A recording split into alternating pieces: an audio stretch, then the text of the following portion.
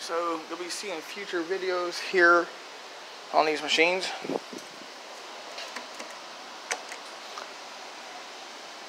So, be watching out.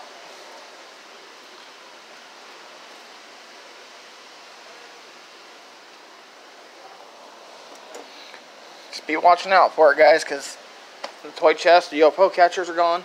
So, and now they got also a time crisis in here. There used to be Strike Fighter, and then that's gone. All right, guys, take care.